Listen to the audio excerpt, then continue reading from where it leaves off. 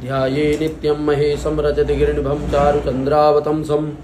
रत्नाकल्पोज्ज्वलाङ्गं परशुमृगवराभीतिहस्तं प्रसन्नं। पद्माशीनं समन्तास्तुतिममरगणैर्व्याघ्रकृत्तिं वशानं। विश्वाद्यं विश्ववन्द्यं निखिलभयहरं। पञ्चवक्त्रं त्रिनेत्रं। नमः पार्वतीपतये। हर हर हर महादेव। भगवान महामृत्युंजय, देवादिदेव महादेव की विशेष कृपा और विशेष प्रसन्नता हेतु आप सबको पता है, जगत में विख्यात है कि प्रदोष त्रयोदशी, चाहे वो कृष्ण पक्ष की हो अथवा वो शुक्ल पक्ष की हो, दोनों त्रयोदशी में प्रदोष का व्रत आता है। उस प्रदोष के व्रत का महात्म्य जो है, वो बहुत ही अतुलनीय है और बहुत ही शुभकृत है। साथ साथ में कर्ता कौन कौन है किसे किसे क्या क्या फल प्राप्त हुआ है और क्या फल प्राप्त होते हैं यह महत्वपूर्ण है। संपूर्ण जानकारी, संपूर्ण विधि और विधान के द्वारा किया गया रुद्राभिषेक प्रदोष के दिन कितने प्रकार के फल हमें प्रदान कर सकता है, यह जानकारी का विषय है। इस विषय के लिए मैं आपको सदा सर्वदा के लिए देवाधिदेव, महादेव भगवान शिव की अत्यंत और विशेष कृपा की जो पूंजी है, उसके बारे में बतलाना चाहता हूँ। साथ साथ में मैं यह बताना चाहता हूँ आपको कि प्रदोष में किया गया व्रत सभी दोषों से दूर करता है।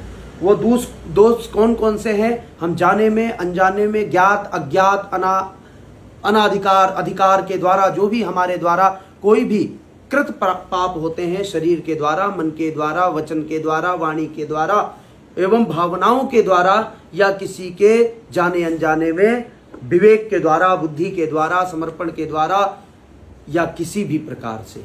तो उन दोषों की निवृत्ति के लिए, उन दोषों से मुक्ति के लिए हमें प्रदोष का व्रत करना चाहिए। साथ साथ में प्रदोष व्रत के सबसे बड़े महात्म्य ये हैं, सबसे बड़ा फल यह है, सबसे बड़ी पूंजी यह है कि जिनके विवाह में रुकावटें होती हैं, उनको एक वर्ष प्रदोष व्रत करने पर, लेकिन विधि विधान से, नियम और संयम के साथ में ऐसा भी नहीं है कि पूरे दिन आपको बहुत ज़्यादा भूखा रहना पड़ेगा, बहुत कष्ट होगा, कुछ भी नहीं होने वाला है।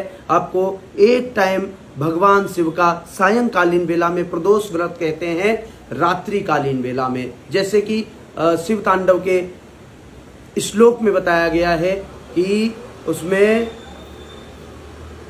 तुरंग युक्ताम लक्ष्मीम सदैव सुमुखीम प्रददाति शंभु। प्रदोषे।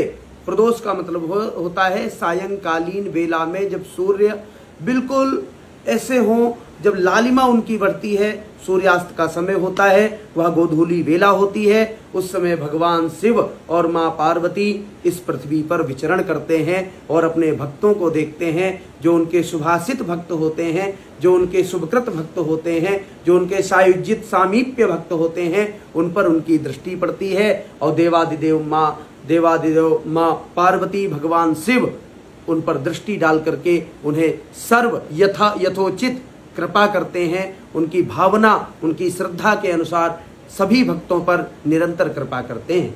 प्रदोष में किया गया छोटा सा विधान भी सडंग अभिषेक होता है, अथवा नमक चमक के द्वारा अभिषेक होता है तो जो नमक चमक के द्वारा जो अभिषेक किया जाता है विधि और विधान के साथ में, उस, उसकी जो लगभग समय सारणी होती है, वो साढ़े चार घंटे की होती है। सडंग के द्वारा किया गया जो अभिषेक होता है, वो लगभग तीन घंटे में किया जाता है।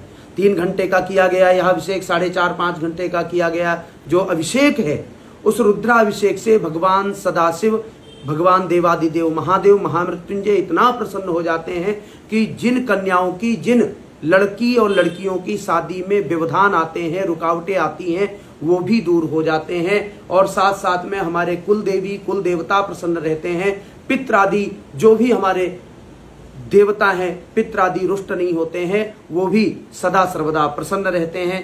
साथ में हमारी जो घर की जो अनैतिक ऊर्जा होती है घरों में जो आ, कहते हैं कि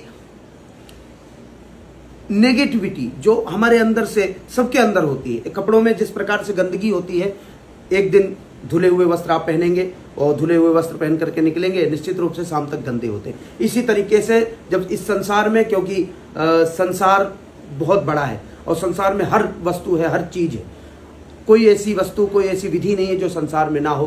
तो हमारे अंदर भी नेगेटिविटी भरती है।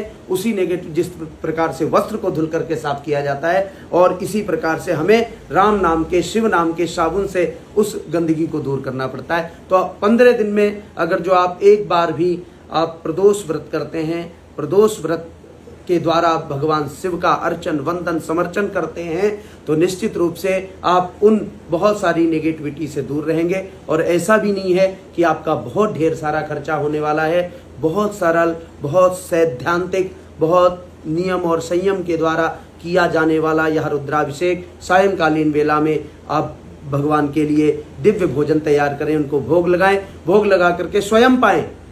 केवल और केवल प्रातःकालीन वेला से लगा करके सायंकालीन वेला तक आपको व्रत रहना है। उसमें जितना जप हो सके, नमः शिवाय का जप करना है। और मैं आपको बताता रहूँगा, बतलाता रहूँगा, और मेरी इच्छा है, भगवान शिव का और गुरु महाराज का ऐसा आदेश है कि मैं संसार में प्रदोष व्रत तो सभी करते हैं, लेकिन जो विधि और विधान के द्वारा, जो संपूर्ण भगवान शिव की पूजन और पूजन पद्धति के द्वारा, विशुद्ध मंत्र और श्लोकों के द्वारा जो पूजन किया जाता है, गुरु महाराज, भगवान शिव की ऐसी विशेष अनुकंपा और कृपा से आदेश हुआ है कि मैं संपूर्ण संसार में जा जा करके जहाँ भी ज़िले में ब्लॉक में, शहर में, प्रदेश में, देश में, अन्य कहीं भी जा जा करके कराते तो हम ही हैं, लेकिन ये विशेष आदेश के द्वारा हम कराएँ और उन सभी को भगवान शिव की सामीप्यता प्राप्त हो, सायुज्यता प्राप्त हो, भक्ति प्राप्त हो,